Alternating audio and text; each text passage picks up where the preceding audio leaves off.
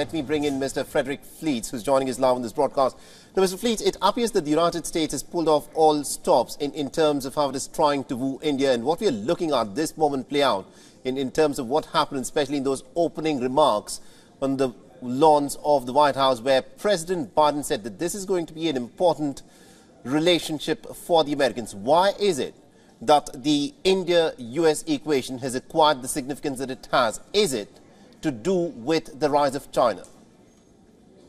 Well, the Biden administration certainly has pulled off all the stop, all the stops. This is only the third head of state visit during the Biden presidency, and addresses at joint sessions of Congress are unusual, and it's unheard of for a head of state to speak to Congress twice. It's quite an honor for Prime Minister Modi. It's bipartisan recognition in the United States of the crucial U.S. India relationship, not just in terms of economics, but in terms of security. We have a common adversary, China. We have to work together to, to counter growing Chinese aggression and influence in the Asia Pacific region. There also are concerns with India about Ukraine and Russia. We mm-hmm. want India to work with us on the Ukraine conflict, to stop cooperating with Russia. And I think we'll make some progress on that. But the key issue here is a threat from China. And I think that's what, what most of the Modi Biden discussions will be about. Absolutely, indeed. Now, India has a legacy in terms of how it has conducted its foreign policy. Earlier, it was defined as, as, as the policy of non alignment, but we've left the idea of non alignment behind us. But the substance of it in terms of pursuing a policy that is beneficial for India without taking sides still continues. Because what we have is a policy of strategic autonomy. So India clearly has not taken sides in the Russia-Ukraine war. The Americans, of course, would want to change that. But my question is much larger here. Now, what we are looking at play out is, is the United States that is willing to share even its defense technologies with India. Um, and, and what do you think has changed in the last one decade or so that the Americans are in fact quite clearly now wooing India to be in their camp?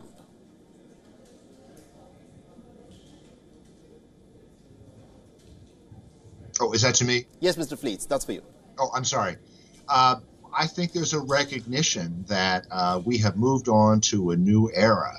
Uh, the era after the Cold War means that nations have to take different positions India is no longer situated between two superpowers. India is facing an aggressive foe that is infringing on its territories, is aggressively against it. And this is no, I, I understand the non-aligned position, and India wants to pursue an independent foreign policy. But given the growing threat from China to India and to the world, it's time for a much stronger alliance, much stronger cooperation against this threat. I think we're moving in that direction. And concerning Russia, India is the largest democracy. Russia does not respect democracy, and its aggressive invasion of Ukraine is not a U.S. Russia issue. It's a global threat to democracy and international security that's why the U.S. would like to work with India much closer on this conflict. Absolutely, indeed. And the Indian Prime Minister has said that it is important to ensure that the way forward is, of course, through dialogue and talks. And the Indian Prime Minister also said that India has taken the side of peace because that is the only way that we can, of course, resolve these pretty difficult issues uh, in the context of the Russia-Ukraine war. Uh, Jessica Stone, if I can bring you in on this, where the Indian Prime Minister and also the American President, you know, touched upon the points of convergence in the political systems in both the nations. for instance, the constitution of both these nations begin with the three words, we the people, and this was something that was highlighted by both the leaders there. Uh, and they also touched about the importance of people-to-people -people contacts within the American and the Indian context. Tell us a bit more about, you know, how the United States, of course, wants to work on this front.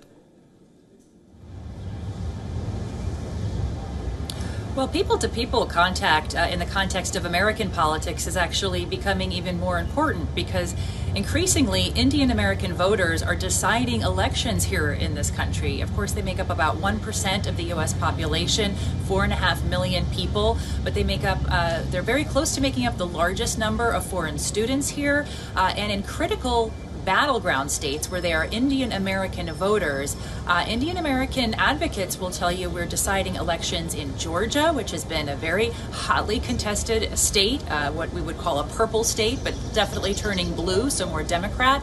Uh, also, uh, Wisconsin, Virginia, uh, other critical battleground states in U.S. Polit political circles are also uh, really increasingly, according to Indian American uh, electoral analysts, being decided by this group of voters. And so you do see uh, President Biden courting Indian American voters, having these seven or 8,000 people on the South Lawn, which is very unprecedented, uh, having a vice president, uh, running mate of Indian uh, descent alongside him, uh, regular outreach to the Indian American community. And of course, we know that uh, former President Donald Trump did the same, right? He, he introduced uh, Prime Minister Modi back in Houston at that 2019 rally. Uh, and then Prime Minister Modi did him the same favor in his home Uh, city uh, in, in India, introducing uh, Pre President Trump when he was on the campaign trail. So there are critical ties in electoral politics and definitely something for President Biden to gain electorally, as of course he is a candidate for the office again. Absolutely, indeed. That, that of course, is the political background of it. And Mr. Frederick Fleet, uh, you know, as, as we look at the visuals that are being beamed out of the White House of, of you know, both the leaders, the Indian Prime Minister Narendra Modi and also the American President uh, Joe Biden, there seems to be a clear connect between the two of them. But when it comes to the strategy of dealing with China, the United States and the European powers seem to have points of divergence, where the European nations, such as France and Germany, would want to deal with China differently, but the United States want to deal with it differently. Do you think the United States may encounter similar such issues with India when it has to deal with China?